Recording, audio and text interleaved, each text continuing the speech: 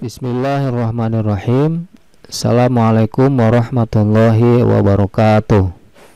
Innal hamdalillah nahmaduhu wa nasta'inuhu wa nastaghfiruh wa na'udzu billahi min syururi anfusina wa min sayyiati a'malina. May yahdihillahu fala mudhillalah wa may yudlilhu fala hadiyalah. Asyhadu an la ilaha illallah wahdahu la syarikalah wa asyhadu anna muhammadan abduhu wa rasuluh la nabiyya ba'da. Alhamdulillah ikhwafidin pecinta Al-Quran. Puji syukur kita panjatkan kehadirat Allah subhanahu wa ta'ala. Bahwasanya sampai saat ini kita masih diberikan berbagai macam nikmat. Terutama nikmat iman, nikmat Islam serta nikmat kesehatan juga nikmat kesempatan sehingga atas izinnya kita dipertemukan kembali pada saluran yang membagikan pelajaran ilmu tajwid. Salawat beserta salam tak lupa kita haturkan kepada uswah kita Nabi besar Muhammad Sallallahu Alaihi Wasallam kepada keluarganya, para sahabatnya dan juga kepada seluruh umatnya yang senantiasa istiqomah mengikuti ajaran yang disampaikannya. Baik sahabat sekalian, pada pertemuan kali ini kita akan bersama-sama membahas hukum tajwid surat Al-Baqarah ayat 11.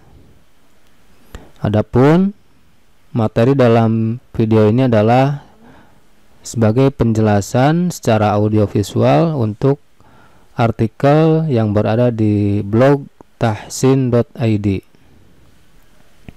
Silakan Anda kunjungi untuk mendapatkan artikel menarik lainnya melalui link tahsin.id. Baik, mari, kita mulai saja. A'udzu billahi minasyaitonir rajim. Wa idza qila lahum la tufsidu fil ardi qalu innama nahnu muslihun Nah, sekarang mari kita bahas hukum tajwid perkataannya. Wa idza qila Nah, perhatikan di sini ada dua hukum mad tetapi sama namanya. Yang di sini mad tabi'i atau mad asli karena ada alif di fathah, sedangkan yang berikutnya karena ada ia di kasroh. Panjang mad tabi'i adalah satu alif atau dua harokat. Lahum la, hum la. Perhatikan di sini ada mim mati atau mim sukun menghadapi huruf lam. Nah, ini termasuk ke dalam uh, hukumnya idhar syafawi. Nah, idhar syafawi termasuk ke dalam hukum mim mati. Kemudian mim mati itu terbagi menjadi tiga, yaitu ikhfa syafawi, idgomimi, dan idhar syafawi. Huruf idgomim ikhfa syafawi ada satu yaitu ba, idgomimi juga satu yaitu mim. Nah, sisanya selain mim dan ba masuk ke dalam huruf idhar syafawi. Jadi idhar syafawi itu huruf mimnya ketika dibaca tidak boleh dengung tetapi harus jelas. Mari kita lanjutkan kembali. Latuf sidu ini juga sama ada dua mad mantobi'i ya la mantobi'i tuf sidu mantobi'i fil ardi fil ini adalah alif lam komariah Perhatikan di sini walaupun ada ya di kasroh, di sini tidak dibaca panjang, tetapi langsung dimasukkan ke alif lam. Fil.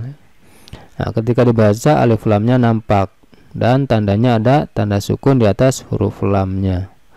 Ardi, ar rohnya dibaca tabkhim atau tebal. Ko ini adalah mantobi'i. Lu'i ini adalah majaiz munfasil karena ada mantobi'i yaitu audi doma menghadapi huruf alif atau hamzah pada kata yang lain. Panjang majaiz munfasil adalah antara 2 sampai dengan 5 harokat. Inna ini adalah gunnah atau wajibul gunnah karena ada nun di tasdid. Ketika dibaca harus keluar dengung antara 2 sampai dengan 3 harokat. Ma mantobi'i nahnu muslihun. Nah, ini adalah mad dari disukun karena ada mantobi'i yaitu wawu di dhammah menghadapi huruf hidup yaitu nun kemudian bacaannya diwakofkan. Panjang mad dari disukun antara 2 sampai dengan 6 harokat. Alhamdulillah ikhwafidin Demikianlah penjelasan hukum tajwid surat Al-Baqarah ayat 11 Semoga apa yang kita pelajari dapat menambah pengetahuan tentang cara membetulkan dan membaguskan bacaan Al-Quran kita. Lebih dan kurangnya saya mohon maaf. Assalamualaikum warahmatullahi wabarakatuh